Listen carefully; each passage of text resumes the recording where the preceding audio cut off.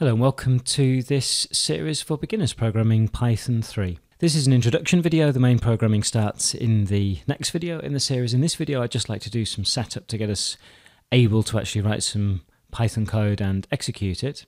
To do that we need two things. One is Python and also a text editor to write some code. First things first then let's uh, install Python. I'm going to do this entire series on Windows if you're using uh, Linux, which I do uh, mainly at home, I'm going to make the assumption that you're probably not going to have any problems installing Python 3 on the computer. Um, if you're using Mac OS X, I think the Mac comes already with Python installed, but I think it might be per, uh, Python 2. So you'll need to install Python 3. There's plenty of tutorials online to do that. Um, if you get really stuck with that, then I can always make a video doing it on the Mac as well. Otherwise, we're going to carry on from now on in the Windows environment, which is usually the trickiest environment to set up anything to do with uh, to do with programming. Now straight away we get nice big yellow button saying Python download Python 3.72 on the screen I don't want to click this one because it's going to give me the 32-bit version. I have a 64-bit computer. So I'm going to go to the Windows link here and then click on the latest Python 3 release here.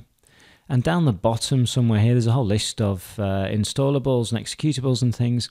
I'm going to download this Windows x86 64 executable, executable installer. So I'm just going to click on that and save the file. Okay, having downloaded that file, I've got one more in here, which is kind of preparation for later, but here's the file download. To install Python, it's a simple matter of a double click, clicking run, and now you're faced with a couple of choices. So if you're happy with the path where it's going to install it here, in mine it's uh, in app data, local, programs, Python, Python 3.7, then okay. Otherwise you'll want to customize. I'm going to leave this as it is, but I'm going to click this button at the bottom here to add Python 3.7 to path. And we need that to be able to use Python from the console. We technically could use it anyway from the console, but every time we type Python, we would have to prefix it with this long address to where Python is installed, and I don't want to do that. So having checked that box, I'm going to click the Install Now button.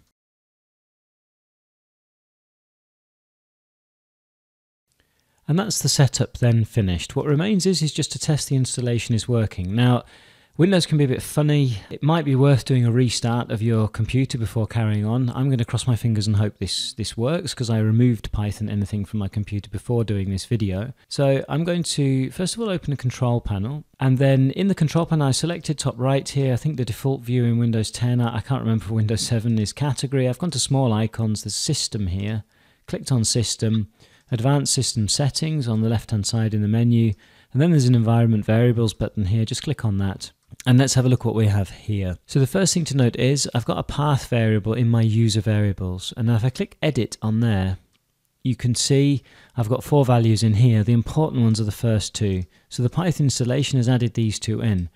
And if you don't know what it is, the path, whenever you're in the console and you type uh, to execute a program, Windows looks in the environment variables, first the user and then the system variables, to see if that program you've typed exists in any of the paths in the path variable. That prevents you then having to type this enormous long path to the executable that you want to execute. In our case, Python is inside the local programs Python, Python 3.7. It would be a bit of a pain to have to type C users, Richard, app data, local programs Python, Python 3.7, Python all the time instead of just typing Python. If that's not in here, you're going to have to manually enter this path. So remember the path that you use to install your Python installation, you'll need to have that and then paste it into here. So you'll create a new variable and have to paste it into there and save it, etc. But you should, after the installation, have it in there. And like I said, maybe a restart also would help. Let's cross our fingers here. I'm going to open a console and just check that Python is installed and working.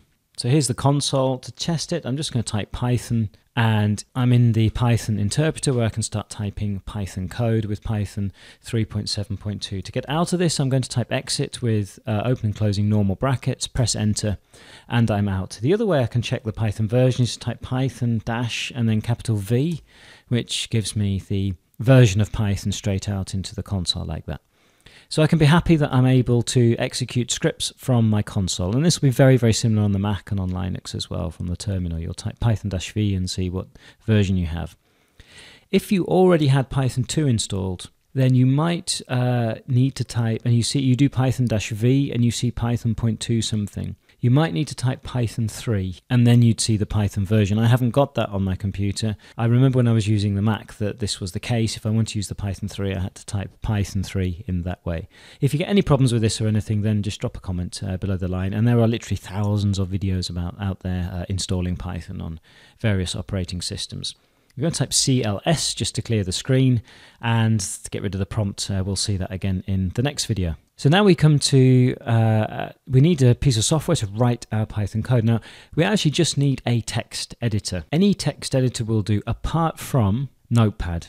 I'm assuming you're not thinking of Microsoft Word or something like this as a text editor, but Notepad is not a good text editor because it adds on all sorts of hidden characters and things unless you turn certain settings off. Likewise, WordPad is pretty bad. There are lots and lots of options of what to use. I'm just going to quickly go through some of the main ones that are in use today.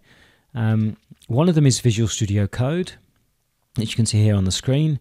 Uh, a lot of the developers I work with use this now as standard. It's really, really relatively light, great um, text editor or edit code editor environment, debugging and all sorts of things inside.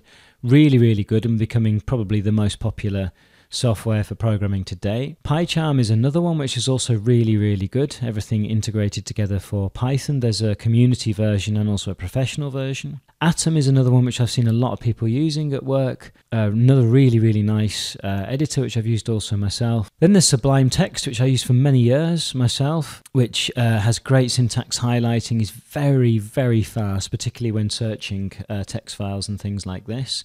That's also a very good option. Another one on the Mac that I really like using, and you, you will have seen if you followed my chess um, series or anything like that, is Text Wrangler.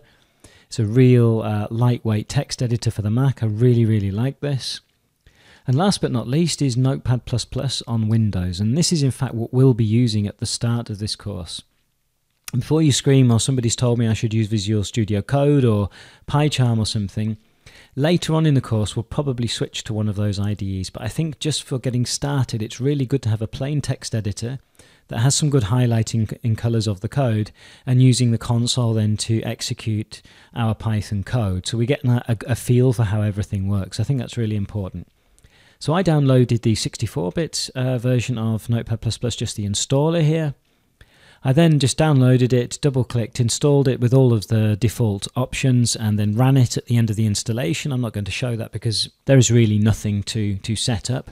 And I ended up with a window like this. You might wonder why I've got dark here. So if you go to settings and style configurator, there are a list of themes you can select. I selected the, uh, uh, here's the Monokai. I think there's some really strange looking ones. The Solarized one. Where's the Hello Kitty? There it is. Pink, if you like, you can have as well.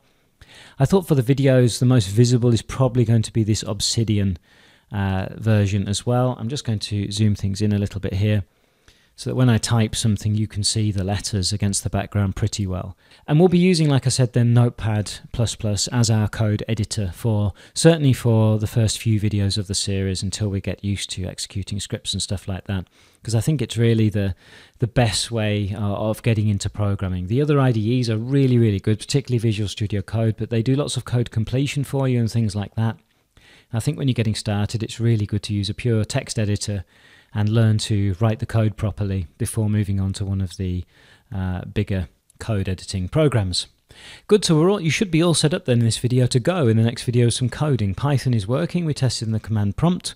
We have our text editor ready to go to write our Python code. All that remains is to get started. So thank you very much for watching this video and uh, see you in the next one.